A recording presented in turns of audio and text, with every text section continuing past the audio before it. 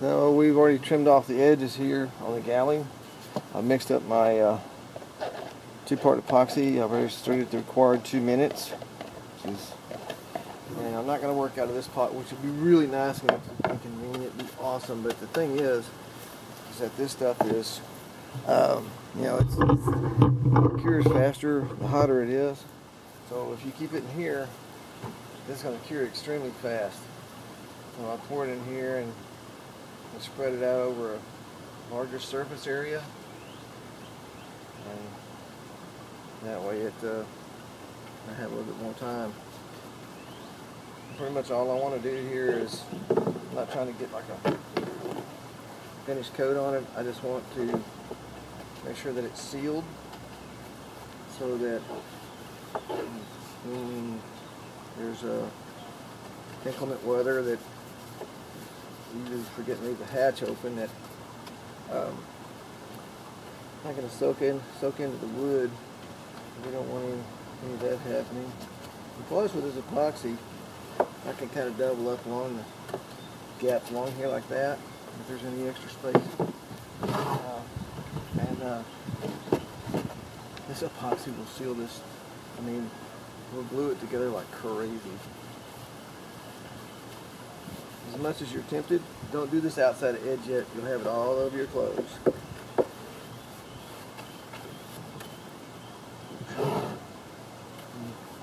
If you can, try to keep your epoxy moving around. I'm sure there's professionals on YouTube that are really good at this. So if you got some uh, information from me to help me be better at this, let's hear it, please. I will not be offended.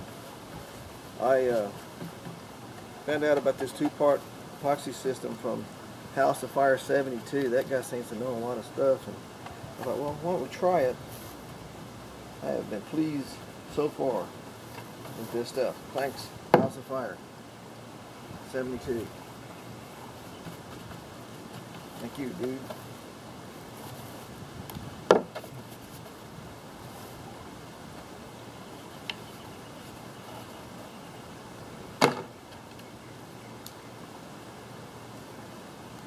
Now we're out in the backyard so that a little bit of I can get a little bit of sunshine.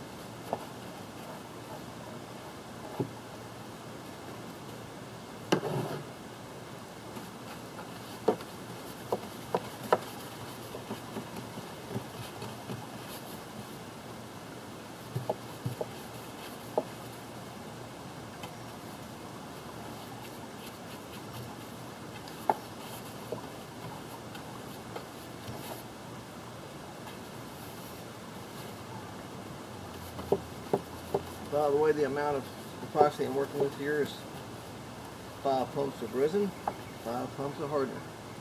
And hopefully I can get it all on before it starts hardening up on me.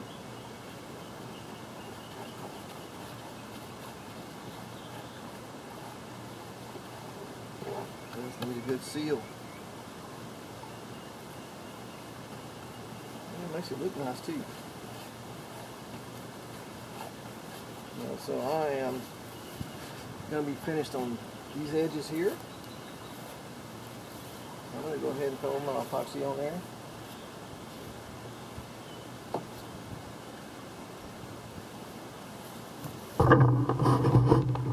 Sure that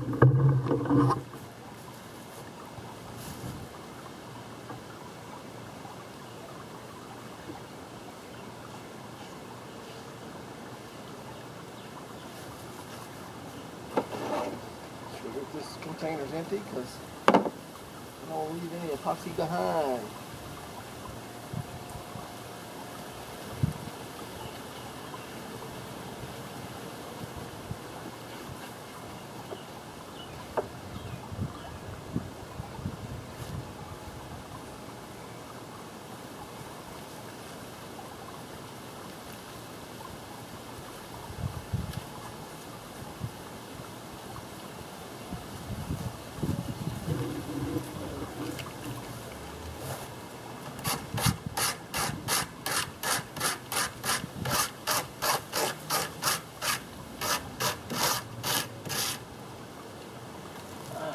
Thought I had gotten, thought I'd got all the blue tape off there, but evidently not. I was gonna do this with a roller, and I thought, well, see how far I can get with a brush. And pot time, work life of this stuff, or pot time, whatever it's called, pretty decent. And like I say, the hotter it is outside, the faster it's pure. And kind of keep your stuff spread out like that.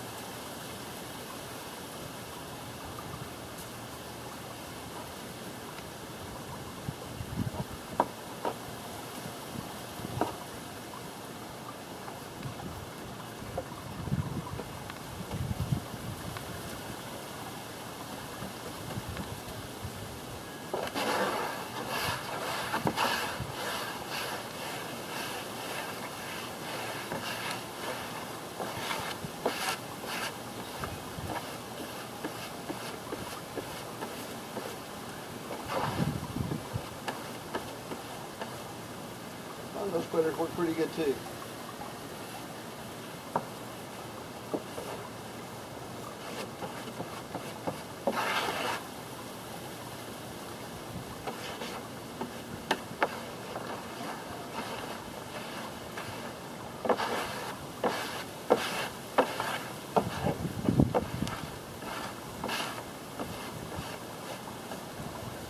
Just do it whichever way works for you. It wouldn't have to be this way or that way. Just Kind of lose too much epoxy into the grass.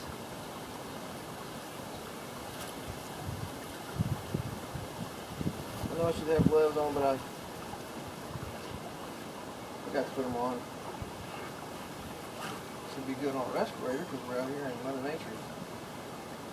In the fresh air with, with the breath.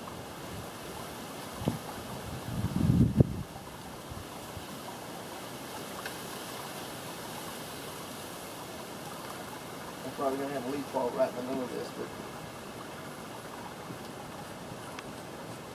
it is a thing specifically for nature, so I wouldn't be upset about that.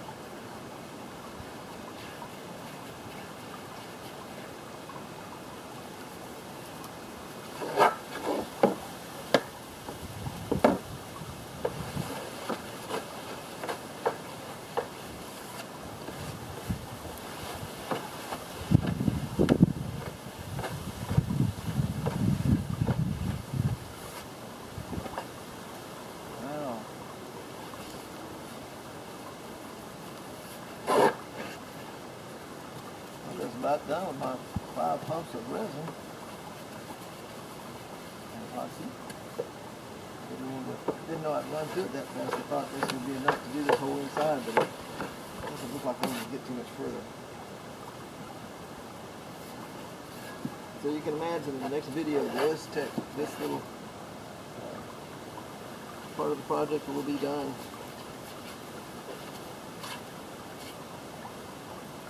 It already licking the bottom of the pan.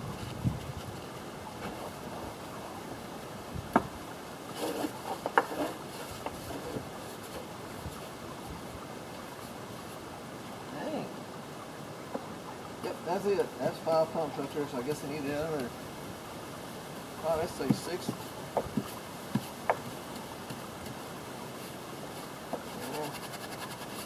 Six pumps. Alright, guys and girls, ladies and gentlemen, again, thank you for watching. I'm going to shut the camera off and go get me five more pumps, well, six more pumps of resin and hardener. Finish up the inside of this. The next video will be something else. So, hey, hang in there.